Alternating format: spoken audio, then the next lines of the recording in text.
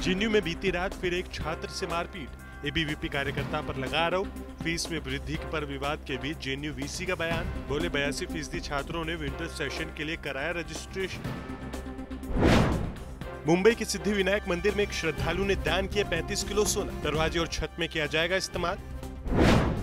कोयम्बटूर में पोंगल के दौरान लोगों ने लगाई बैलगाड़ी की रेस। देखने के लिए हज़ारों की उमड़ी भीड़।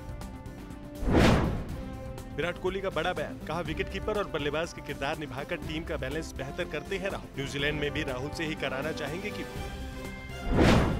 सुनील गावस्कर ने की वनडे क्रिकेट में ऋषभ पंत को अंतिम इलेवन में रखने की वकालत, कहा शिखर और रोहित ओपनिंग में बेस्ट जोड़ी।